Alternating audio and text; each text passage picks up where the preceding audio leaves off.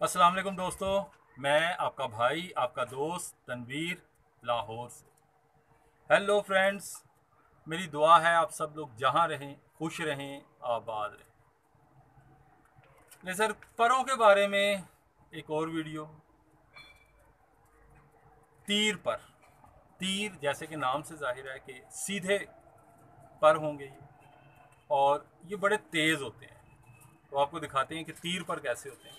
ये मेरे हाथ में जनाब एक, मेरे गोल्डन्स का बच्चा है ये। ये देख लें आप। और ज़रा ये इसके पर पे गौर कीजिए जो बाहर वाले पर हैं। ये बिल्कुल सीधे स्ट्रेट और ये इसके थोड़े से ये एज ये गौर कीजिए, ये आपको अंदर की जाने मुड़े हुए दिखाई दे रहे हैं। ये ज़रा, ये देखें, ये ये ऐसे ऐसे लग रहा है जैसे अंदर कर्व है और ये थोड़े से बाहर की तरफ़ भी मुड़े हुए हैं। स्ट्रेट जाकर थोड़े से बाहर की तरफ़ मुड़े में ऐसे कबूतर जनाब बहुत तेज़ होते हैं। ये कबूतर जिसको कहते हैं ना कि पाँच मिनट में आसमान चले जाते हैं और बहुत बुलंदी पर जाते हैं। इन, ये कबूतर बस ये है कि इसकी बुलंदी बहुत ज़्यादा है। ये बहुत ज़्यादा बुलंदी पकड़ता है और ये जब आसमान से निकलते हैं तो फिर ये घर भी जल्दी बैठ जाते हैं। लेकिन ये आसमान से निकलते ही उस वक्त हैं जब ये अपनी परवास पूरी कर लेते हैं। ये बहुत अच्छा टाइम करते हैं और इन कबूतरों के जो ये, जो इस पर के हामिल होते हैं, इनके रिज़ल्ट बहुत अच्छे हैं। और इसका ज़रा कुंदे पर गौर करें कि बिल्कुल बारीक कुंदा है ये। इसका कुंदा ऐसा है कि आपको ये लगेगा कि ये इसमें कोई चीज़ नहीं है। ये जनाब अभी ये पाँच पर का बच्चा है। पाँचवीं झाड़ी हुई है कली इसने। ये इसके अंडों के पर हैं। लेकिन आप इसके परों की खूबसूरती देख लें कि अभी से इसके पर ऐसे हैं कि बिल्कुल शानदार।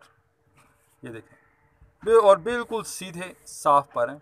और बहुत ज़्यादा एज नहीं है, थोड़ा सा एज आपको नज़र आएगा।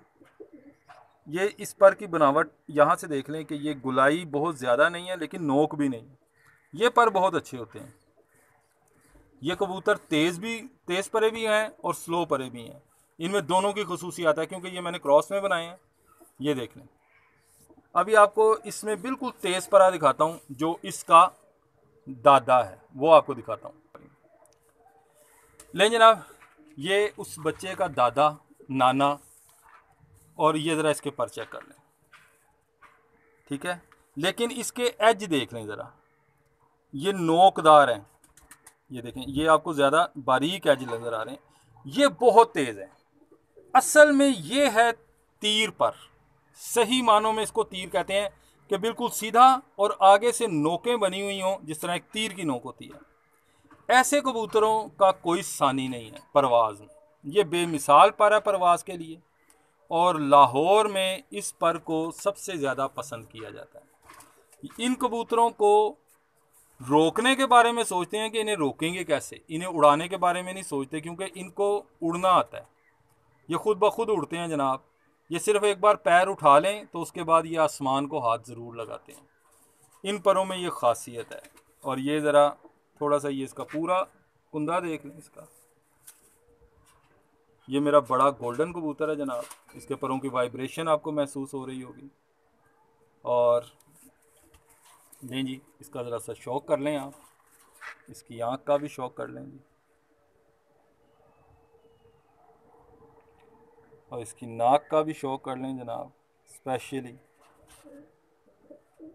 लें सर मैं जनाब, उम्मीद करता हूँ कि वीडियो आपको पसंद आई होगी और आज जो तीर और तलवार पर के मामले में मैंने आपको थोड़ी सी बात बताई है, वो आपको समझ आ गई होगी।